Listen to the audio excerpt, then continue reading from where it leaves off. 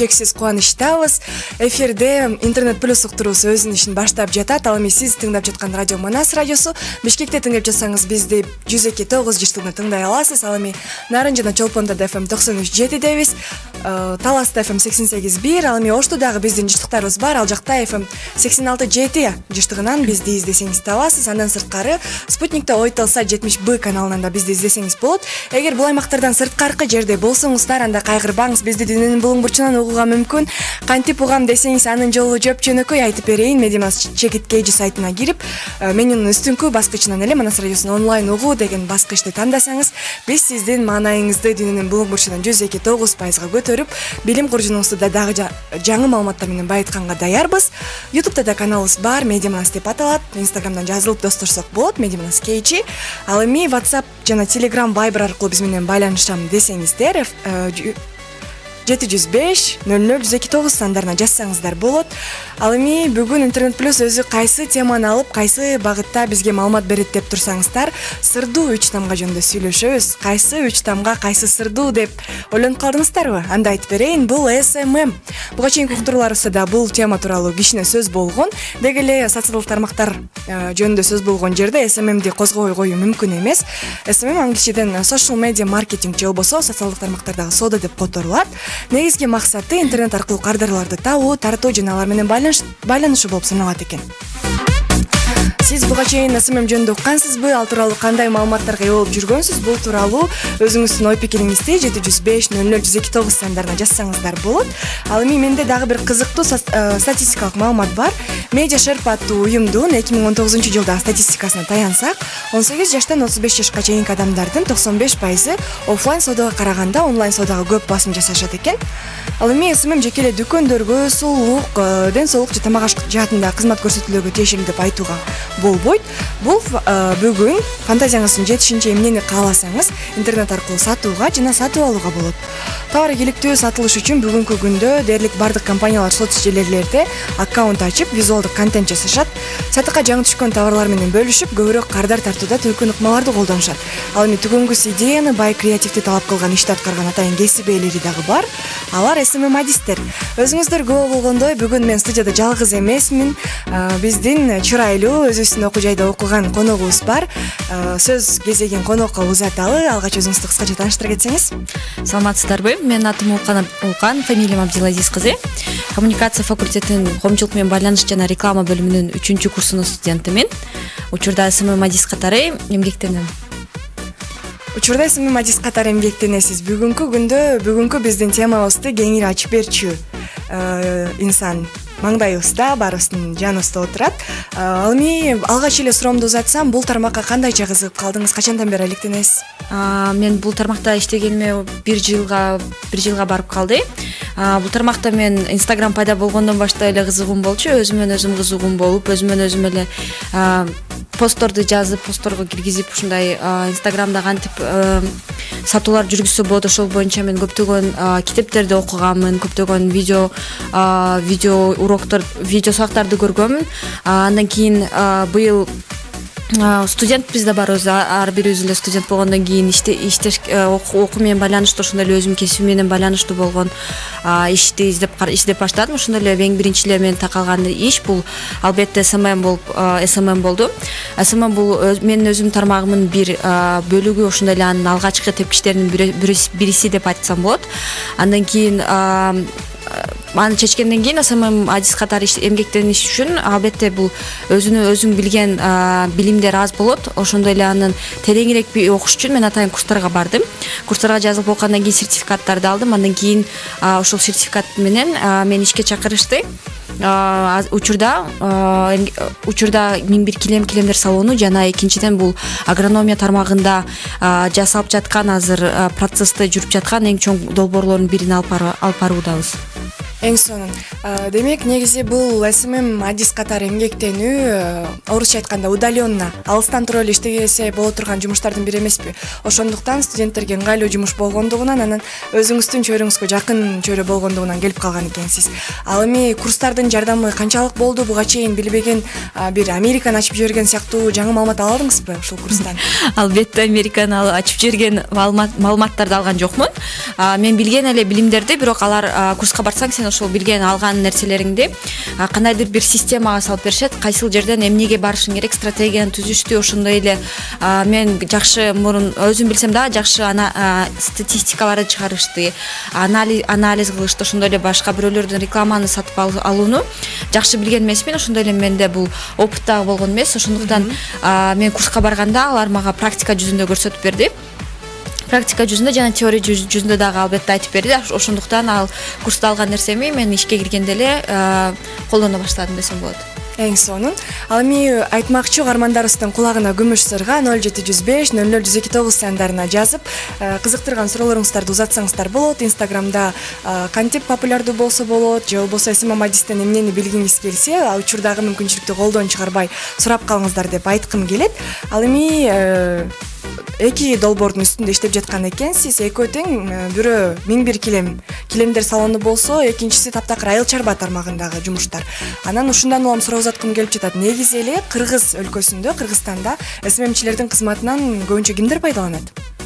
Азыр инстаграм бул ар бир адамдын ар бир колунда смартфону бар адамдын жашоосунда эң эң көп пайдаланган бир программалардын социалдык тармактардын бири деп айтсак болот. Деги эле баарыбыз эле билгендей инстаграм бул смм инстаграм ар бир нерсенин өзүнүн бир баракчасы бар да инстаграмда бул жада калса бул өзүнүн күчүктөрүнүн дагы инстаграм баракчасы бар буну баарыбыз билебиз. Ошондуктан бирок эгерде мындай иш жүзүндө карасак смм адистер бул биринчиден албетте атайын чоң ишканалар жалдашат. Ошондой эле бул социалдык баракчанын өзүнүн максаты дагы ар кандай да кээ бирлери жөн гана мындай бренд жасаш үчүн болсо экинчиден бул сатыкты жүргүзүү үчүн болот да. Ошондой эле биз баарыбыз билген эле инстаграм бул реклама үчүн эң чоң платформалардын бири. Ошондуктан бул албетте реклама реклама кылыш үчүн атайын ресторандарды айтсак болот тамак аш жаатында болот агрономия жаатында болот ошондой эле соода саттык жаатында сулуулук тармагында деги эле жашообуздагы ар бир сферанын ар бир сфераны өзүнө камтыйт деп айтсак болот да. Ошондой эле бул инстаграмда атайын белгилүү инсандардын өзүн бренд катары позициялоодо өзүнүн имиджин имиджин дагы жасоодо имиджин жасоодо дагы. Албетте смм эң башында смм адистерине кайрылгандары кайрылышат деп айтсак болот. Эң сонун экен. Ал эми биз өз сапарыбызды алга карай улайбыз. Маегибиздин кызуу жүрүп жаткан чакта бир аз тыныгуу жасап мирбек атабековдун тыңда мени аттуу жагымдуу музыкалык чыгарманы тыңдап алалы. Биз мирбекти тыңдасак ал эми сиздер бизди тыңдаңыздар. Себеби бизде гана эң кызыктуу маалыматтар. Ардактуу угармандар биз өз сапарыбызды алга карай улайбыз. Он төрт саат жыйырма эки мүнөт ал эми биздин студияда коногубуз бар. Абдилазиз кызы смм адис. Бүгүн биз смм деген эмне ал смм адистер эмне иш алып барат деги мунун бүгүнкү күндөгү ролу жана орду кандай бул кесиптин ушул тууралуу кеп кылып жаткан чагыбыз ал эми сизге дагы бир суроо узаткым келип турат визуалдык контент э, социалдык тармактарда өтө маанилүү азыр кичинекей күчүк мышык э, керек болсо жумуртка куруттун аккаунтунан тартып ар бир жеке инсандардын э, баардык компаниялардын кафе ресторан тамак аш кызмат көрсөтүү үй Э, компаниялардын аккаунттары дагы бар деп айтып калдык. Ал эми бүгүнкү күндө э, смм адис катары айтсаңыз эгер товардын сапаты анча болбой бирок э, баракчасы эң сонун жүргүзүлсө бул жакта ийгиликтүүлүгүнө канчалык деңгээлде кепилдик бар. Албетте визуалдык контент визуалдык визуалдык түрү инстаграм баракчабыздын аябай чоң ролду ойнойт. Ал эң биринчи талаптардын инстаграмга коюлган эң биринчи талаптардын бириси деп айтсак болот. Андан кийин ал эми товар боюнча айта кетсек эгерде кызмат же товар болсо албетте анын сапаты эң чечүүчү ролду ойнойт. Анткени эгерде ооба эгерде реклама рекламасы ошондой эле визуалдык контент абдан кооз болуп реклама дагы аябай мындай ынандыруучу болсо албетте адам заказ кылышы мүмкүн заказ алышы мүмкүн сатып алышы мүмкүн. Бирок бир заказ кылгандан кийин эгерде анын сапаты инстаграм баракчада көрсөтүлгөн рекламада айтылгандай сапаттуу болбой калса ал албетте өзүнүн э, имиджине доо кетет. Биринчиден экинчиден ошондой эле бул өзүңдүн максаттыктооңдун ынанычынан чыгып ынандыра албай каласың дагы алардын ишеничинен чыгып каласың деп айтсак болот. Албетте эң биринчи биринчи кезекте баары аны алып хотят попробовать но бирок бир татып көргүсү келет көргүсү керек карап көргүсү бирок андан кийин биринчиден кийин уже биринчиден биринчи татып көргөндөн кийин андан кийин имиджиң бузулат ошондой эле өзүңдүн товарың сапатсыз экени баарына эле жетет деп айтсак болот да. Ошондуктан эң биринчи бул инстаграмда жазганда мен өзүмдүн тажрыйбамдан да айтабыз биз эч качан товар боюнча мындай кепилдик беребиз деп айта албайбыз да эч качан биз мындай бул эреже катарда бизде айтышкан товар качественный же болбосо товар аябай сапаттуу жүз пайыз кепилдик беребиз же ошого окшогон сүйлөмдөрдөн кандай эң көп болсо дагы мындай алысыраак кичине качыш керек андайлардан качып жүргөнгө аракет кылабыз да. ушундай демек угармандарыбыздын кулагына күмүш сырга катары эгер ар бир нерсе эле рекламадагыдай социалдык тармактардагы имиджидегидей боло бербеши мүмкүн. Буйрутма берердин алдында анализдеп көрүш керек. Себеби акчага келген оокаттын баары биз үчүн кымбат. Ал эми эгер сиз интернетте бизнес жүргүзсөңүз э, анда эки жээкти тең бирдей карап бирдей кармай жүрүшүңүз керек экен. Себеби сапат да жакшы болуш керек. Бирок кээде кээ бир өтө сонун сапаттуу буюм сапаттуу нерсе бар. Ошого бүгүнкү замандын талабына төп келген жакшы деңгээлде жарнама жасалбай калып же болбосо мисалы баракчасы араң эле жүргүзүлсө кээде ал колдонуучулардын көңүлүн деле бурбашы мүмкүн. Ошондуктан бүгүн эки жээкти бирдей кармап эки тизгин бир чылдырды бир чылбырды колго учтай жүргөн колго кармай жүргөн өтө маанилүү экен. Дагы бир суроо угармандарыбыздан келип жатат. Токсон эки сексен тогуз санынан келген экен. Манас радиосуна салам. Улукан сизге да салам жолдойм ал эми менин сурагым келген нерсе. Мен инстаграмда популярдуу болгум келет бирок мунун жолдорун жакшы билбейм. Бүгүнкү күндө эмне трендте? Тикток тарткандан башка деп анан эки э, кашанды коюп койгон экен.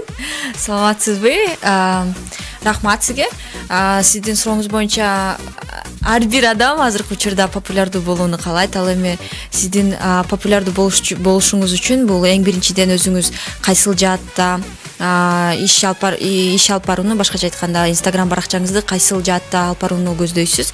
Экинчиден бул сиздин башкалардан өзгөчөлүгүңүз жана айырмаңыз эмнеде? Эгерде сиз чынында бир бир нерседен өзгөчөлөнүп турсаңыз албетте сиздин популярдуу болууңузга кепилдик бар деп айтсак болот. Ошондой эле. Экинчиден бул албетте өзүңүздүн контент жасаганыңызда контентти аябай сапаттуу жасашыңыз ой кечирип коюңуз жасашыңыз керек. Бул дагы өтө маанилүү андан кийин эгерде сиз чындыгында өзгөчөлүү болсоңуз анда популярдуу болууңузга кийинки инстаграмдын кийинки тепкичтерин өтүп башка блогерлер менен иш алып барсаңыз болот деп айтсам болот. Анткени алардын өзүмдүн тажрыйбамдан айтсам болот эгерде блогерлер менен иш жүргүзгөнүңүздө же кандайдыр бир жылдыздар менен иш жүргүзгөнүңүздө алардан келген фидбек аябай чоң жана жыйынтыгын бат эле көрсөтөт деп айтсам болот. Ал эми бүгүнкү күндүн трендтери кандай деген суроого кандай жооп бересиз? бүгүнкү күндө азыр баарыбыз эле билгендей адамдар аябай жалкоо болуп кетти. Эч кимдин узун тексттерди окугусу келбейт.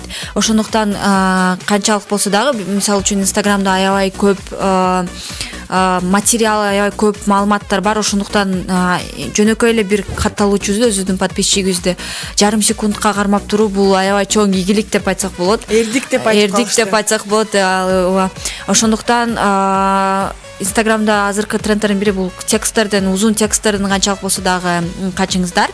Ошондой эле бул видео контент азыркы учурда аябай чоң популярдуу ошондой эле бул азыр угарманыңыз айтып кеткендей тик ток тик ток тартуу дагы азыр аябай популярдуу атат тик токту дагы ар кайсы сферада өзүнүн фантазиясына жараша ар кандай кылып көрсөтүүдө.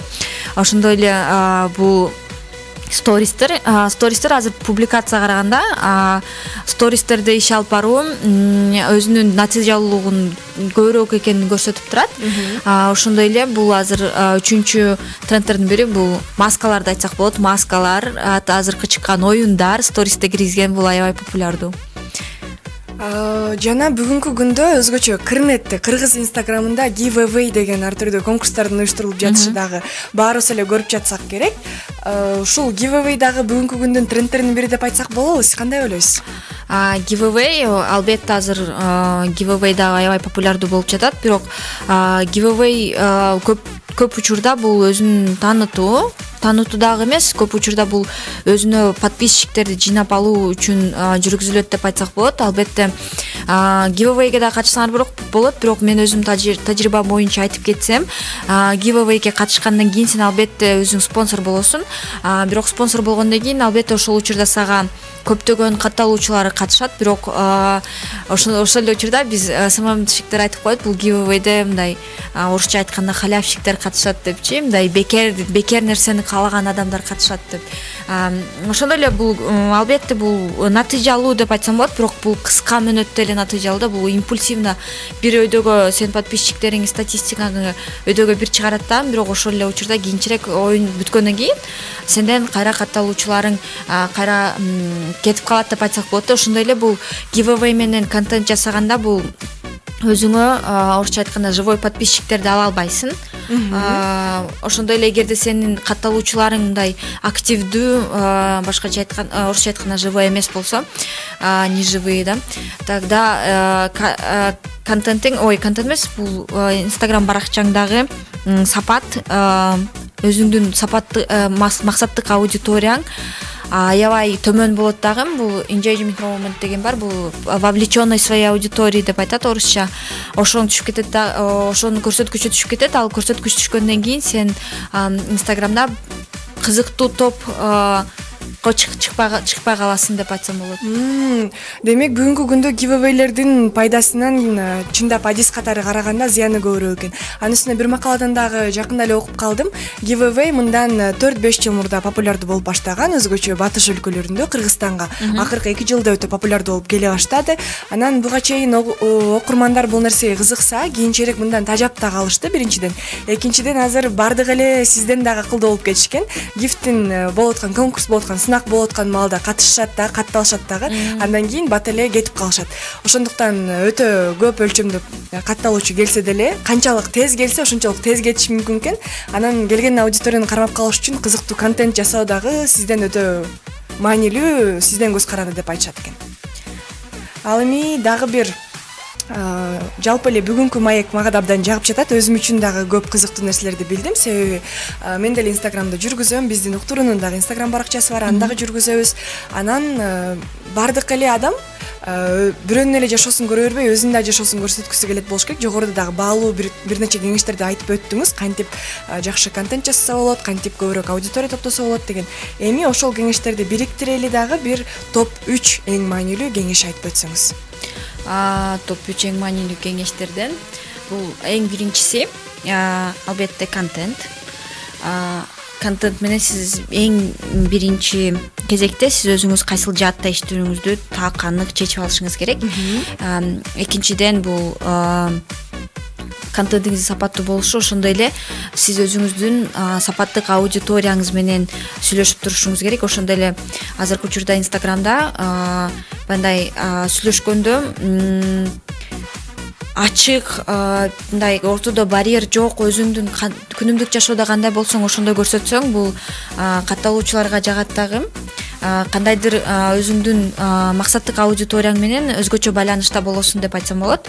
Ошондуктан бул экинчи кеңеш бул ачык болуу өзүнүн аудитория менен ачык жана чынчылдык честный чынчыл болуш керек жасалма болбош керек. албетте чынчыл ал жасалма болуш керек. Үчүнчү кеңеш бул акыркы трендтер менен акыркы трендтерден калбоо.